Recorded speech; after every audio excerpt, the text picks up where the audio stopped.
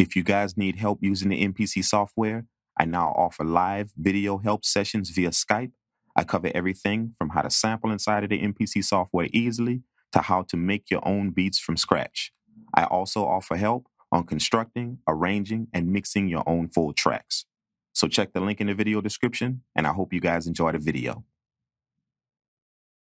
What's up, guys? This is your boy DZD, aka the Drank Kang, Purple World Entertainment live from the Dungeon Palace Studios. Once again, thank you guys so much for tuning into the video. If this is your first time with us, make sure you hit that subscribe button and also hit that bell notification so you don't miss out on another one of these videos. Speaking of videos, I got a good one for you guys today. I've been telling you guys that I'm going to get started with a few techniques on how I use Reaper and the MPC software together. So if you guys are using Reaper or considering using the Reaper DAW, these type of videos will help you guys a lot just to kind of give you guys an idea of some of the things that are possible when using the MPC software with Reaper. Today I'm going to talk specifically about routing tracks out of the MPC software into Reaper. You'll be able to do this inside of pretty much any DAW that has some type of routing capabilities, which all of them pretty much do have. I'm going to show you guys how to take those different channels that are inside the MPC software, route them to different channels inside of Reaper.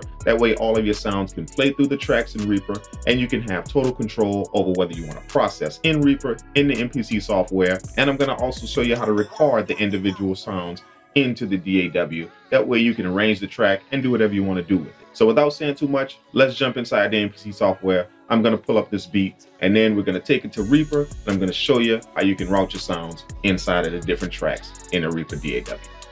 Let's do it. Okay, so let's jump right into it. I don't want to make this video too long, so we're going to move through it really quickly. If you don't understand anything, just rewind the video. That way you guys can check it out again, and I'm sure you'll get the concept. So let's do it. The first thing we're to do is we're to open the Reaper DAW. This is the DAW I'm to use. Use your own DAW of your choice. As long as you follow this concept, all of the DAWs should have this type of capability. So we're to create a new project in Reaper and we're to close out the MPC software. Okay, because we need to pull it up as a VST. We're to remember the, remember the name of the beat. It's called Night Vibe Chill. Okay, so let's close that out and let's create a, a track in Reaper by double clicking and then we're gonna go to the effects so we can grab the MPC software as a VST. So let's go to the filter, type in MPC. It's gonna narrow the search down to MPC software. Boom, there it is. Yes, you can pull up the MPC software as a VST inside of a DAW, and that's what we have here. It is the full MPC software running inside of Reaper on a track. This is amazing if you want to do a few things um, inside of the MPC software and also your DAW. You can connect the two. They will sync together. If you notice the BPM is blurred out, it is now going to follow the BPM down here of Reaper. We're not going to create anything. We're simply just going to route sounds into Reaper. The first thing you need to do is you need to tell Reaper to recognize all of the channels in the MPC software. Those 32 channels, you need to tell Reaper to recognize all of them. That way you can start routing the sounds through them. So that's what we're gonna do. It makes it very easy. If you go here um, and highlight the actual plugin and you right click on it, you can go down to where it says build multi channel routing for all output on the selected effect. So the selected effect is the MPC software. We're going to actually route all of the outputs.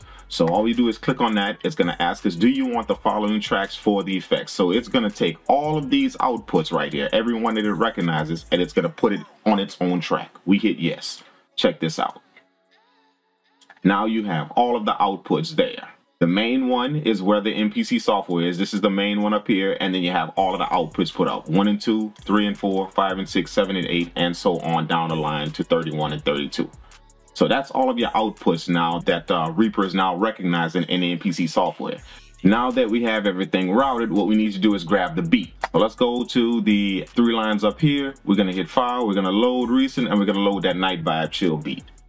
So now that that's loaded, we have the beat, and now we need to take the sounds and route them to those different channels that we created. So we need to take all of our drum sounds on our drum track and also our instrument tracks and route them to, to the, the different channels that Reaper has now recognized. So let's do that. When we click on one pad, you're gonna see it light up here, okay? Now, if you don't see that happening, that means that you are not in pad, in the pad channel. You are still in program channel which is what you're used to working in. You have to switch this to pad channel. That way you can see the channel of the pad that you're clicking on. Okay, it, it separates it into different channels. So A1 would be my kick. If I kick on, click on the clap, that changes to A2. My open hi-hat is on A4. There it is and so forth and so on. So let's route these drum sounds. We only have six drum sounds that we're going to route and we need to route those to their individual tracks. So let's do it. Okay, so we're to click on the kick drum and we're to go here to where it says program. Right now is running to the program track, which is my drum track. And then that program track is running to one and two, out one and two, which is the default output so you can hear everything inside of your MPC software. We're to take that program and we're to route that to one and two.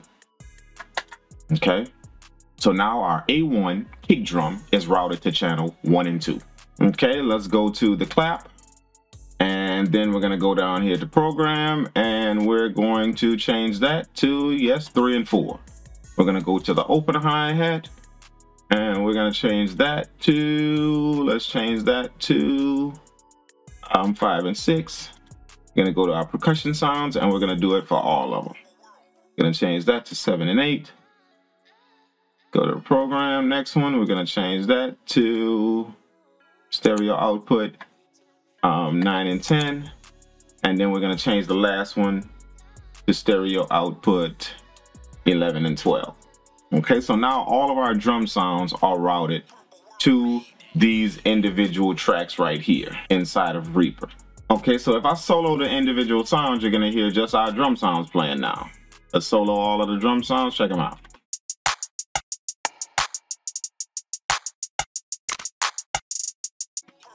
Okay, so now what we want to do is change the rest of the sounds and get them out of one and two. Right now, all of our instruments in the MPC software as well is running through one and two. So we need to change all of those as well. That way, the only thing that sits on channel one and two is this kick drum. And then the rest of the sounds will line up. Okay, so now let's go to our different tracks up here, our guitar. We're gonna do this from track, from the track view. Let's click on the track view. That way we can just click on the tracks and it'll change. Okay, so this is our guitar melody. We're gonna put this back on program channel because we're no longer dealing with pads. We're dealing with the actual program of the VST that we use to make this this uh, guitar melody track. Remember, we're taking all of these sounds out of one and two and putting them all on their separate tracks. And then we're gonna put that on the next track, which would be uh, 13 and 14. Okay, and then we're gonna take our bell melody. We're gonna change that from one and two and we're going to put that on stereo out. 15 and 16 we're going to take our 808 stereo out. Uh, 17 and 18 then guitar stereo out. Uh, 19 and 20 and then we're going to take our lead. Stereo out. And we're going to put that on 21 22 Okay, so that's all of our sounds. Now, the only thing that should be in one and two now is just that kick drum now. That's it. So let's solo that and see if that's what's happening.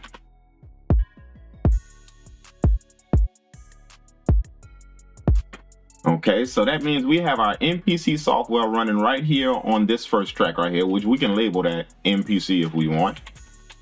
Okay, you can't get rid of that because that's where the actual MPC software is running on this track. But now, instead of all of the sounds playing through here, now they are all routed to these different tracks. Let's solo them and see if we can see if we can pull them all up.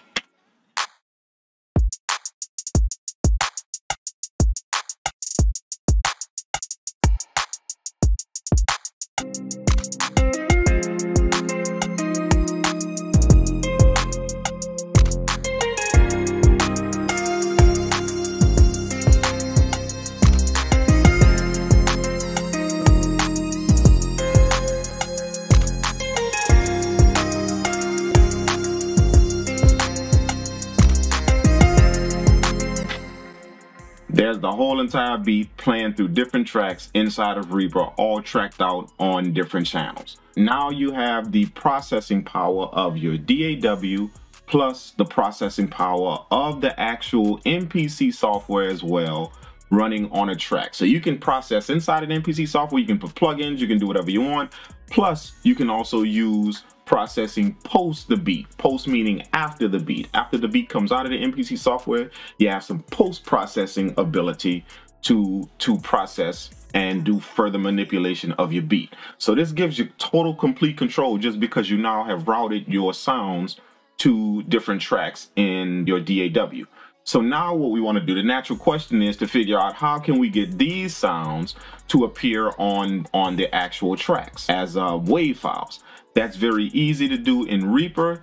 You will be able to figure out how to do this in your own DAW that you're using um, if you just do the research on how to, to record sound into it. So basically what's happening now is that all of these sounds are playing through these tracks, but I need to record what's playing through these tracks onto the tracks. That way I have them as WAV files. So once I get finished processing, putting any effects on these tracks that I want or doing anything that I want to do to them, once I get finished doing that, whether it's EQing, um, half timing, putting some crazy effects, whatever I want to do, that's going to be playing through this track, through these tracks now. I want to record that on to the individual tracks as WAV files. So let's do that. We're going to highlight all of the tracks by holding shift and going down to the last one and highlighting that. Okay, so now what we're gonna do is we're gonna work with the record button. If you right click on the record button, it's gonna give you some options. Right now, it's recording input. So any audio that's coming into the track is gonna record. We need to record what's going out of the track. So we're gonna go down to output and we wanna record in stereo. Boom, it now changes our record features on just these tracks to record what's coming out of it on these tracks. Make sure that the tracks are armed. Okay, so we hit the record button, we, we left click on it and arm all the tracks. Okay, and as long as they're all selected, it's gonna deal with all of them. And then we go down here, as soon as we hit record, it's gonna start recording the sounds on the track. So let's do that.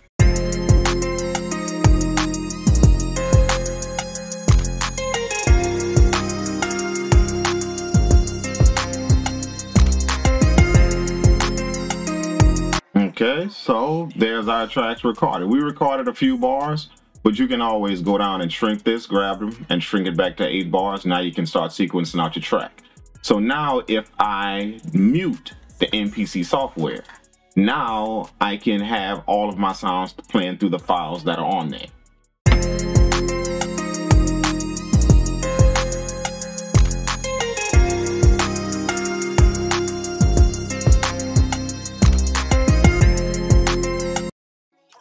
Recorded straight off the MPC software in a perfect loop. Everything is on the grid. It matches.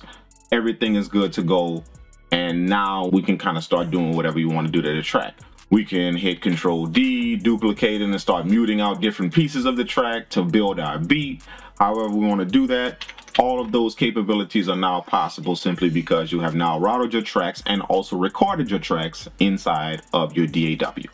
So just routing your tracks is kind of like a different type of workflow if you want to process things. Now, normally when I create my beats, I like to drag all of the stems out, out of the MPC software into the Reaper DAW. Now I just start processing and doing whatever I need to do. But if you like to work inside of both, if you want to have the capabilities to build the beat and do everything inside of both, then this is definitely an option for you. It will actually help you to control your MPC software and also your DAW and take advantage of all of the opportunities that you have with both softwares. This is very effective. It can happen in other DAWs. You just need to figure out the routing system that those DAWs have. And pretty much all DAWs have some type of routing system just like this to where we'll route the tracks to different places and you will be able to send your MPC software tracks to the DAW. So just do a little bit of research on the particular software that you have, the routing system, and I'm more than sure you will be able to figure this out that does it for the video guys. Thanks so much for tuning in. I hope from this video that you got a good idea of the capabilities that you have when routing your tracks out of the mpc software into a daw how you'd like to process the tracks and even how you'd like to arrange the tracks. So if this video helped you guys out make sure you guys smash that thumbs up button and also drop a comment below let me know some of your thoughts on what you'd like to see next inside of these Reaper DAW videos. I'm going to try and put a series together for you guys. That way you guys can kind of understand what's being done whenever you use the MPC software inside of a DAW. Again, thanks so much for tuning in. This is the kid DZD, aka the Drank Kang, live from the Dungeon Palace Studios, and I will check you guys in the next video. Peace out. but tell me